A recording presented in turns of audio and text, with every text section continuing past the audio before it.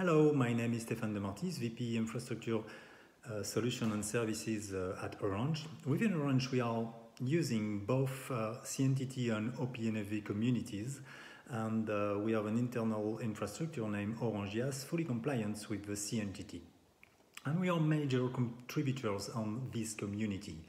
Uh, we count on the Linux Foundation community to further develop and ease integration of telco virtualized function on the infrastructure.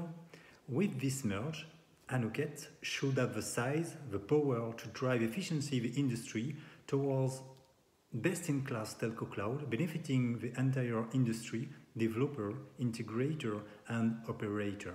Thank you very much.